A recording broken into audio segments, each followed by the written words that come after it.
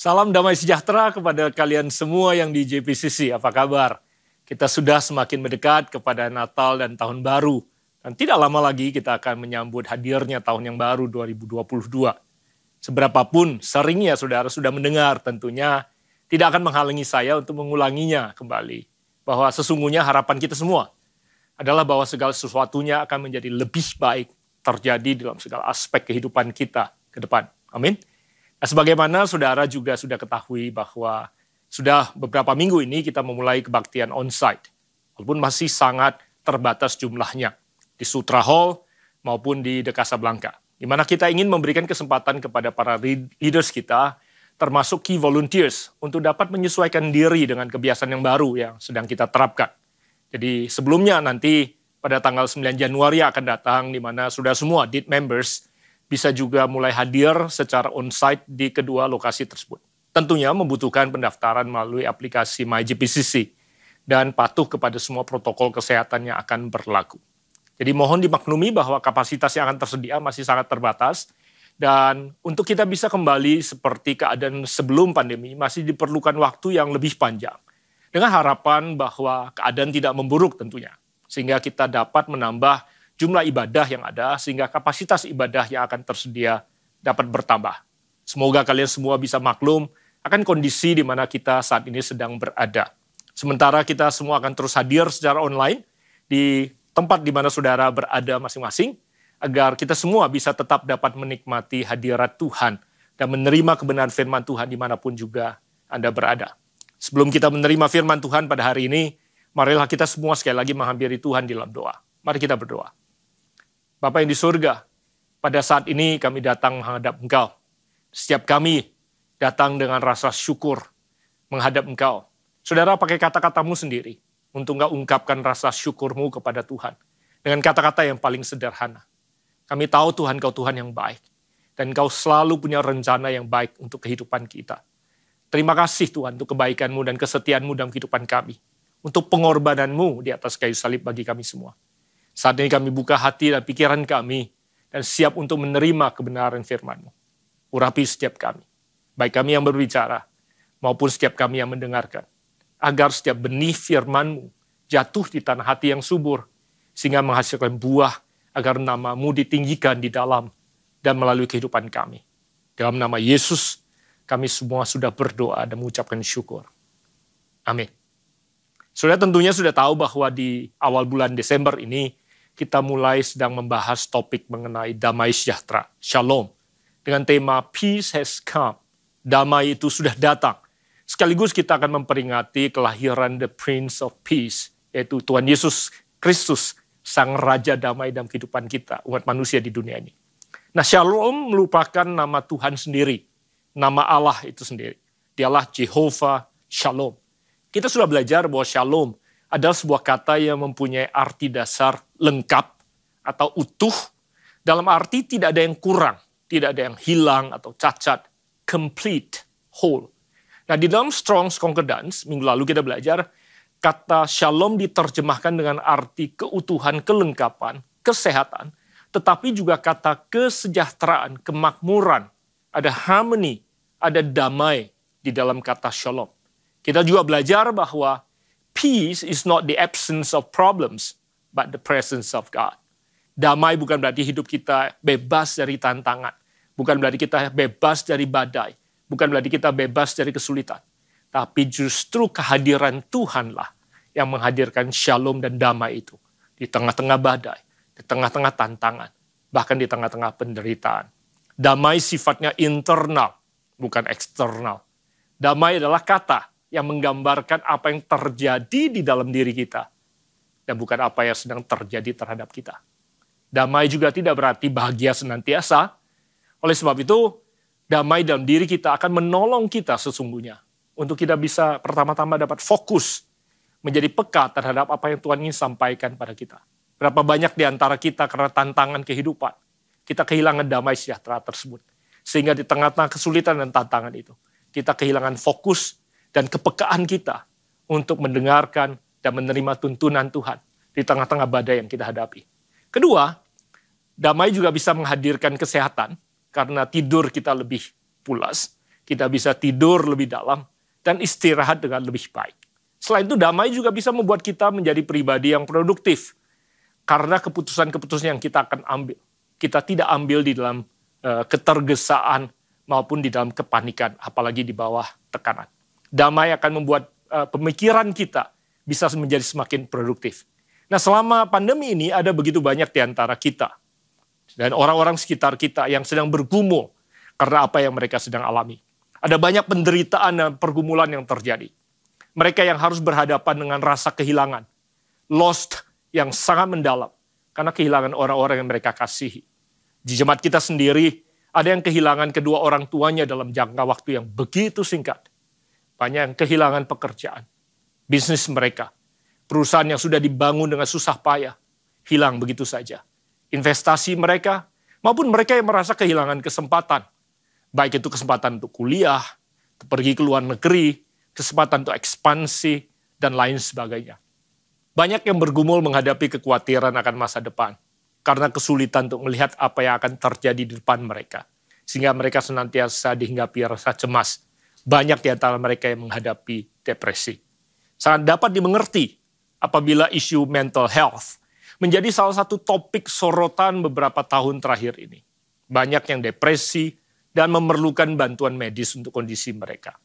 Alkitab memberikan janji dan kebenaran mengenai shalom yang kita butuhkan untuk menghadapi keberadaan kita sehari-hari.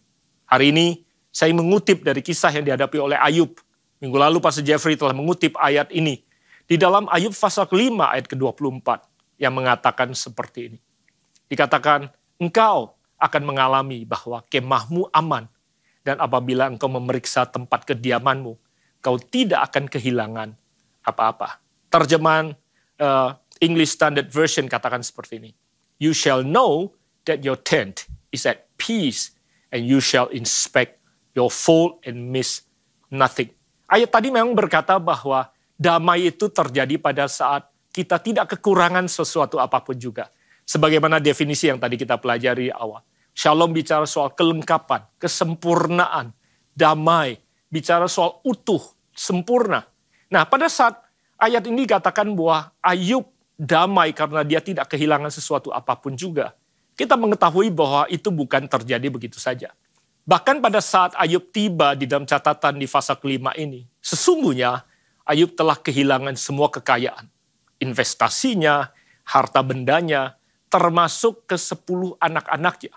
Bahkan di pasal kelima ini sebenarnya dibuka dengan pertanyaan Ayub. Di ayat pertama dikatakan seperti ini. Berserulah, adakah orang yang menjawab engkau? Dan kepada siapa di antara orang-orang yang kudus kau akan berpaling. Ayat ini menggambarkan sesungguhnya seluruh kondisi Ayub, baik secara jasmani, emosional, maupun spiritual. Di mana Ayub bahkan kehilangan istrinya yang gagal paham terhadap apa yang Tuhan lakukan, karena apa yang harus mereka hadapi. Pada saat Ayub sendiri sakit, istrinya yang sudah sedemikian pahitnya terhadap Tuhan berkata, di Ayub pasal kedua ayat 9, maka berkatalah istrinya kepadanya, masih bertekunkah engkau dalam kesalehanmu? Kutukilah Allahmu dan matilah. Nah pada saat ini kita akan belajar mengenai shalom. Mari kita periksa ulang beberapa perspektif kita mengenai kehidupan dan hubungan kita dengan Tuhan.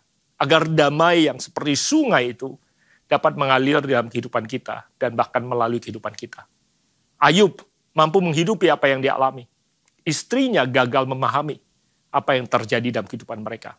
Ada beberapa hal yang bisa kita pelajari berkenaan dengan persepsi kita dan perspektif kita terhadap apa yang terjadi di dalam kehidupan kita dari apa yang Ayub dan istrinya alami. Hal pertama yang perlu kita selaraskan di sini adalah bahwa anak-anak Tuhan yang saleh sekalipun tidak terlepas dari realita penderitaan. Saudara, Alkitab mencatat bahwa Ayub adalah orang yang saleh hidupnya. Dia benar hidupnya. Namun kita membaca bahwa apa yang dia alami bukan sesuatu yang mudah. Tragedi dan penderitaan yang dihadapi bukan perkara yang kecil. Mengenai penderitaan yang dialami oleh orang-orang percaya hari-hari ini, Ayub dapat menjadi sebuah contoh panutan sesungguhnya. Atau prototip mengenai seseorang yang beriman yang mengalami problema kehidupan yang tidak dapat dijelaskan. Kita sering kali berkata, why bad things happen to good people. Allah mengizinkan orang-orang yang takut akan Allah sekalipun Dan orang yang tidak bersalah dan tidak berdosa itu mengalami penderitaan. Dan kerelaan untuk menerimanya tanpa kehilangan iman mereka. Yesaya 32, 17 dikatakan seperti ini. Di mana ada kebenaran, di situ akan tumbuh damai sejahtera. Dan akibat kebenaran ialah ketenangan dan ketentraman untuk selama-lamanya. Betul, kebenaran dalam kehidupan kita akan menghadirkan ketentraman. Tetapi bukan berarti pada saat kita hidup dalam kebenaran, selalu ketentraman itu datang bebas dari tantangan dan kesulitan. Namun apabila kita hidup dalam kebenaran, maka badai dan tantangan kita hadapi sekalipun akan disertai oleh shalom, damai dan ketentraman yang datang daripada Tuhan. Saya ingat betul pada saat menerima vonis mengenai kondisi retina mata kanan saya yang robek. Dan sebagaimana mungkin saudara tahu bahwa retina robek berisiko untuk mengalami kebutaan total apabila tidak tertangani dengan baik. Dan juga detik-detik di mana saya sedang menjalani operasi mata ini yang robek dalam kondisi bius lokal, di mana saya harus ikut mendengarkan semua komunikasi dokter dengan semua tim yang melakukan operasi pada saat itu.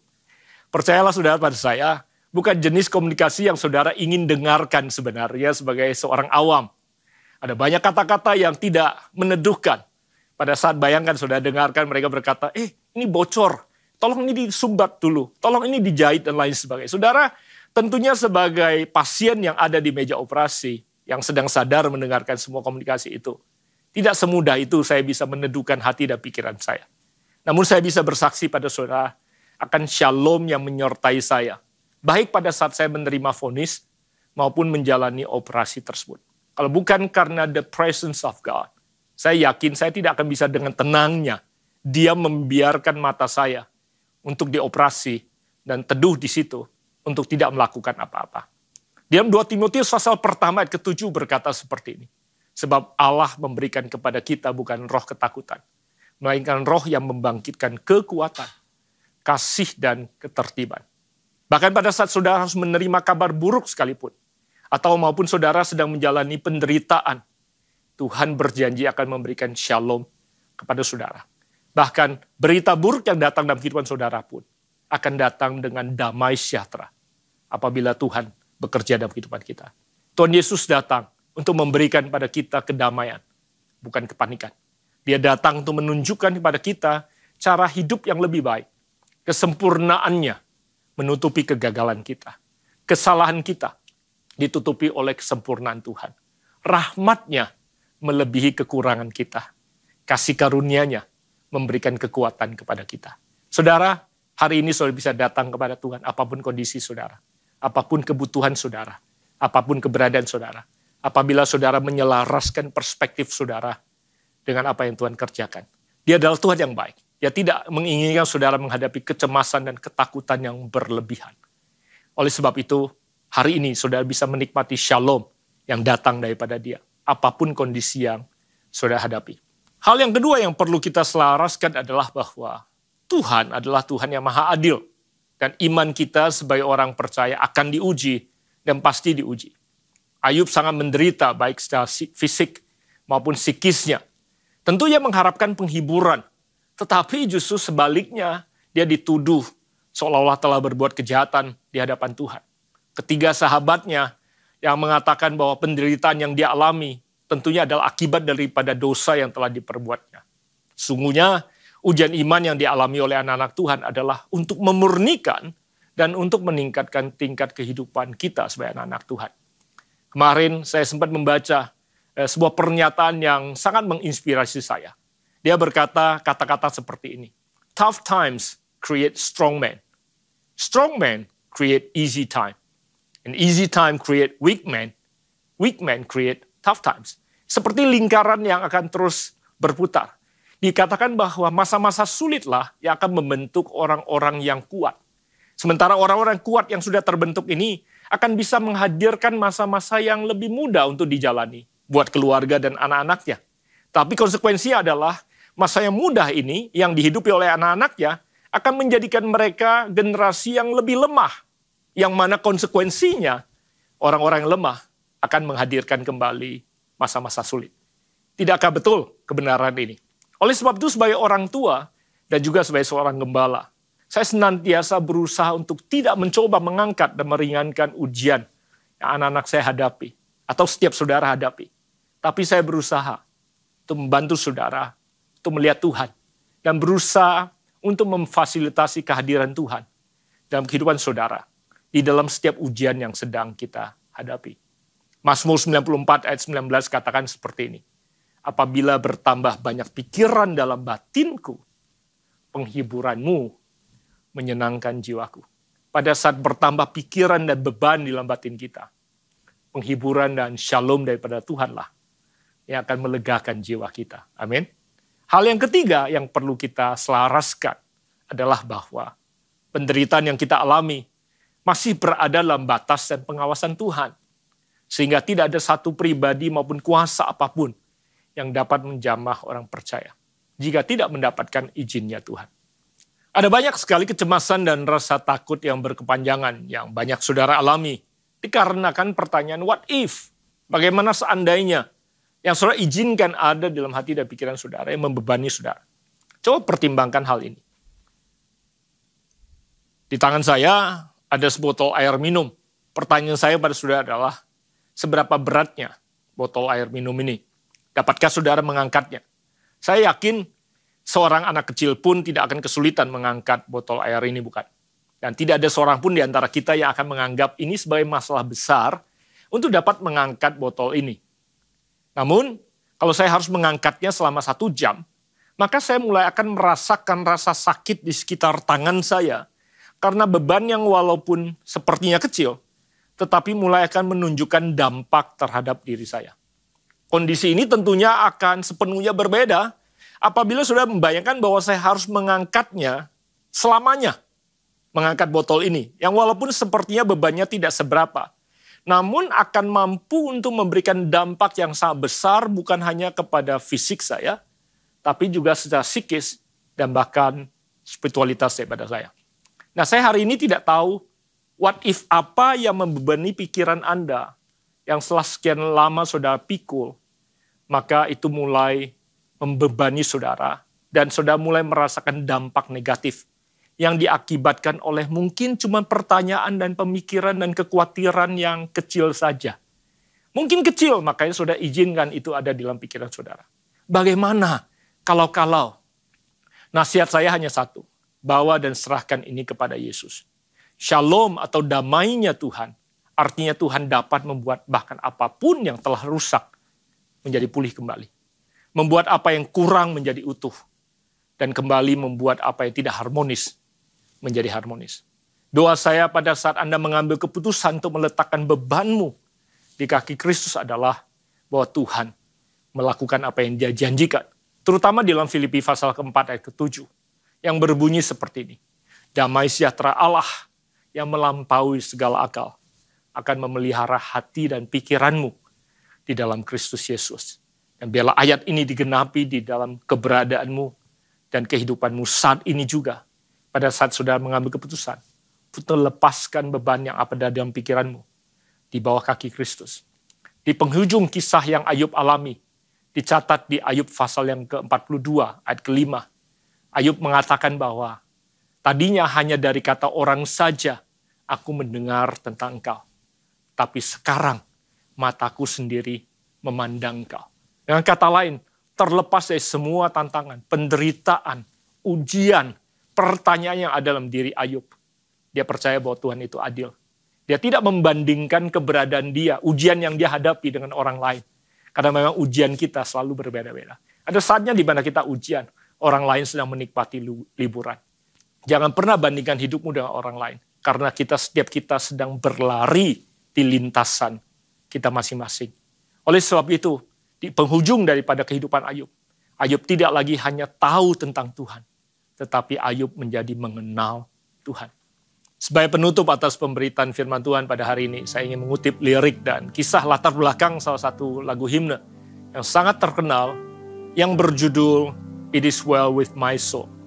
Lagu ini ditulis sekitar tahun 1873 oleh Horatio G. Spafford. Horatio Spafford mengerti tentang tantangan hidup yang tidak terduga.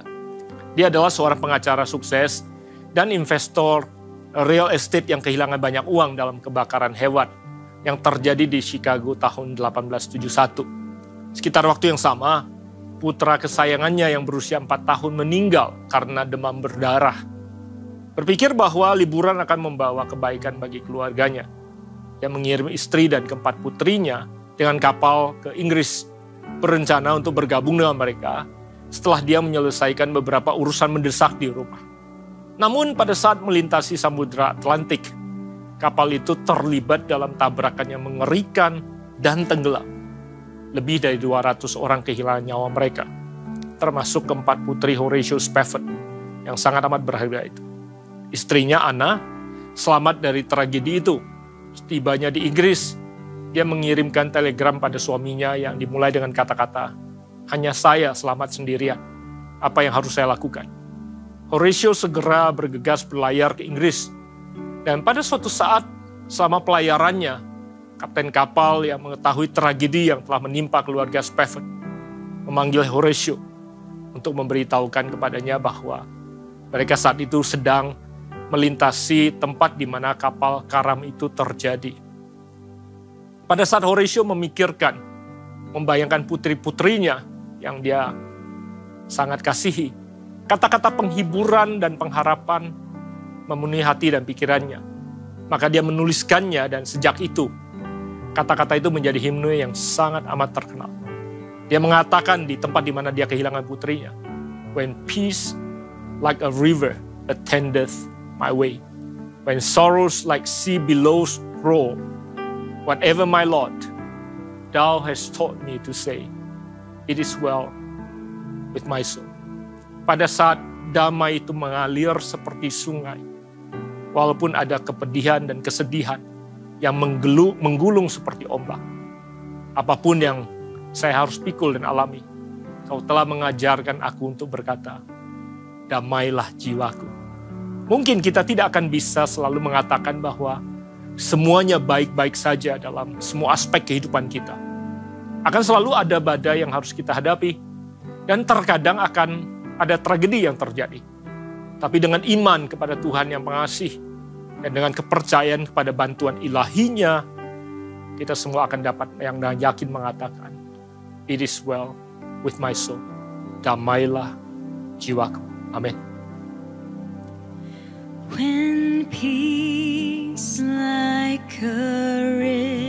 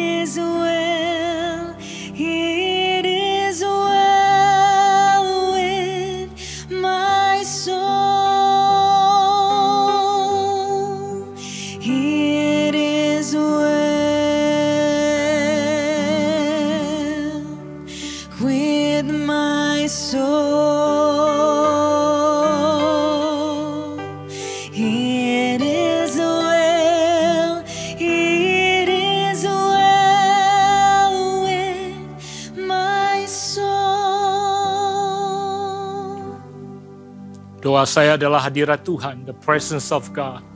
Hadir di mana pun kau berada, terlepas dari tantangan apa pun yang sedang kau hadapi. Hari ini engkau tahu bahwa Tuhan itu adil. Dan dia tidak membiarkan kau mengalami ujian melampaui kekuatanmu. Oleh sebab itu biarlah hadirat Tuhan yang datang meneduhkan badai dan meneduhkan hati dan pikiranmu. Kau tidak perlu lagi membandingkan dirimu dengan siapa pun juga. Karena kau tahu ujian yang kau hadapi akan membentuk kau menjadi pribadi yang lebih kuat. Apabila kehidupanmu dalam keadaan baik-baik saja, biarlah damai sejahtera yang melebihi akal ini juga memenuhi hati dan pikiranmu. Dan terima kasih untuk anugerahmu. Terima kasih untuk berkatmu. Terima kasih untuk kehadiranmu di dalam rumah dan tempat di mana kami berada masing-masing. Biarlah shalom ini menghadirkan keutuhan, kelimpahan, harmony into our heart and lives. Menyertai kami di mana pun kami berada. Dan bahkan shalom ini bukan hanya mengalir kepada kami semua, tapi dapat mengalir melalui kami, memberkati banyak orang di sekitar kami.